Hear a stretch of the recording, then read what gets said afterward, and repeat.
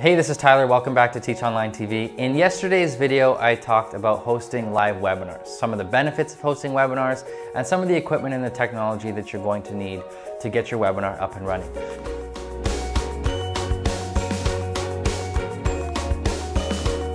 Now today, I'm gonna focus on how to promote that webinar and how to structure your presentation on your live webinar.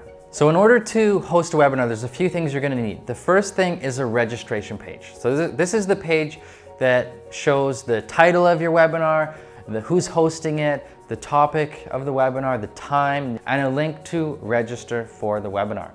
After someone registers, the next thing you want to do is send them to a thank you page. So this is just confirms that they've registered for the event. It gets it reminds them to add it to their calendar. It's even better if you add some social media sharing stuff on that page so they can invite other people, you know, their friends, their network to attend the webinar as well. The third page you're gonna need is the actual presentation page. So most webinar softwares are gonna give you that page. They're gonna give you a link that you can share with your audience when it's time to host a webinar. They're gonna click on that link, it takes them to the page, and that's where uh, they're going to watch your presentation. And the last thing you're gonna need is your email list. You'll need an account with an email service provider, and you wanna create a specific email list for your webinar so that you can keep track of everyone that's registered for the webinar and you can send them some emails after the webinar is over, like perhaps a replay. So once you've got those four things set up, it's time to start promoting your webinar. The first thing you should do is email your list of subscribers. So your, your normal, the people who are signed up for your newsletter, so those are the first people that you should, you should tell that you're gonna be hosting a live webinar. Another place you can promote your webinar is on social media. Share it on Facebook, share it on Twitter, share it on LinkedIn, whichever platforms you're on. You could even run ads on social media. You can run paid ads to promote your webinar. Another option is to promote your webinar from your website. So maybe put some pop-ups on your website, maybe something across the top or in the sidebar of your website. This is something we, we do at Thinkific for our weekly webinars.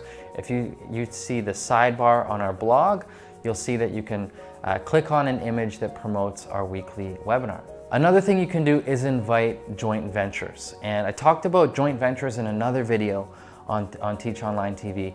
But if you know anybody else who has access to your target audience, who has an email list of people who might be interested in your course, you can ask them to promote your webinar for you to their audience and then if any if anybody from their audience buys your course you split the sales with them so those are just some ways that you can promote your webinar the next thing you want to do is make sure you have a solid presentation and you're ready to rock when those people get onto your webinar. So what I'm gonna do now is give you an actual structure to follow for your webinar presentation. This is a structure that's been used many times and it's proven to be very effective, especially when it comes to selling online courses.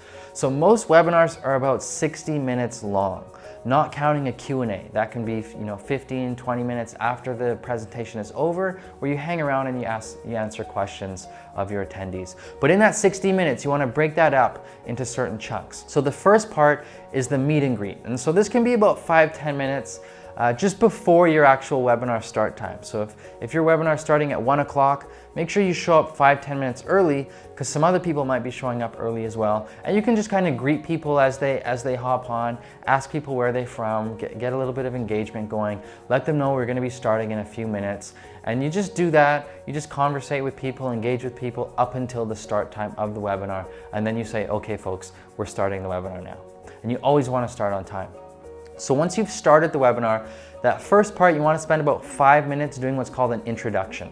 So just welcome everyone to the webinar, remind them what it's about, thank them for attending, uh, ask them to uh, remove any distractions, you know, close their email, close their social media, and just really focus on the, uh, on the webinar for the time that you've got with them.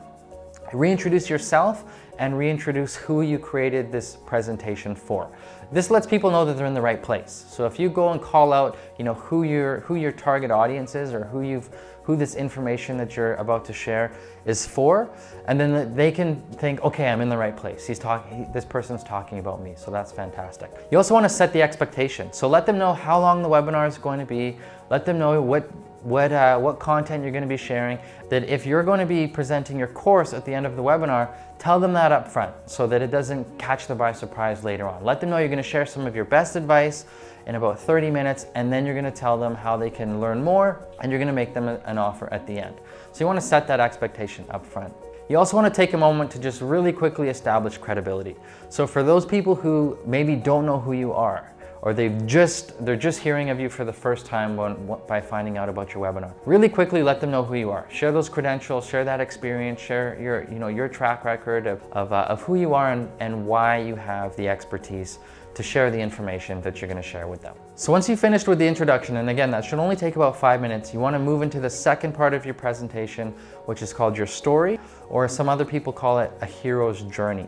So you wanna share your journey. How did you learn what you're about to teach and what impact did it have on your life? And this is a way that you can introduce the problem that you faced, the solution that you found, and the action steps that you took to solve that problem. Because remember, nobody buys an online course. What they're looking for is a solution to a specific problem. So you want to tell that story of how you found the solution and now you've got the expertise to, to pass on what you've learned from your journey to help them with their journey. So that part takes about five or 10 minutes just so that they know that you've been through what they're going through. You've been where they are and you know how to get them from where they are to where they want to be.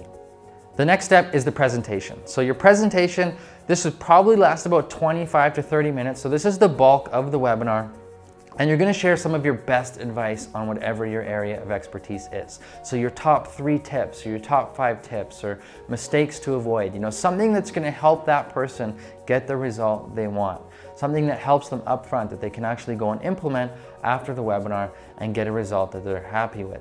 And what this does is it builds a lot of trust. When you help somebody for free upfront and they think, wow, if this is what this person is sharing with me for free, I wonder how much more knowledge they have in their course. I wonder how much more helpful their course is gonna be if this is how helpful they are in just you know 20 or 30 minutes. So when you transition to the pitch, and this is where you actually present your course, you wanna actually show people what's included. And again, thank them for taking the time to be on the webinar. Let them know that you did your best to uh, give them some actionable advice uh, in the time that you had with them. But if they want to take things to the next level and if they want to learn your subject in more detail, then invite them to check out your course and show them what's included. Take five, 10 minutes to, walk, to walk them through all the different modules in your course, the lessons, you know, the different types of training and resources that you've included in your course. Let them know what your price is. Let them know if you have a guarantee of any kind, like a money back guarantee. Show them testimonials of other people who have taken your course. And you also want to throw in some bonuses just to help increase that perceived value of your course. So a bonus could be a free call, you know, like a free consultation or a free coaching session uh, with that student. Maybe you invite them to uh, some live uh, group calls that you hold with all of your students. Maybe you've got a Facebook group set up for your students. You know, whatever additional resources or additional time and attention you can give to that person, make sure you offer those bonuses on the webinar. Once you've done that, you're gonna, you're gonna show them the link or give them the link to sign up for your course, and then you're gonna transition to Q&A. So let them know that you're gonna stick around for a little bit. If anyone has any questions, they can ask you those questions at the end of the webinar. And this is a great chance to overcome some of those objections that people have, or you know, come address some of those concerns that they have. Now, you may have done a great job with your presentation, but there might be, you know, one or two things that you didn't address and somebody would need the answer to in order to make a decision to enroll in your course. So it's really good to hang around for a good 15, 20 minutes, or as long as you're willing if the questions keep coming in, and just spend that time answering questions and being as helpful as you can.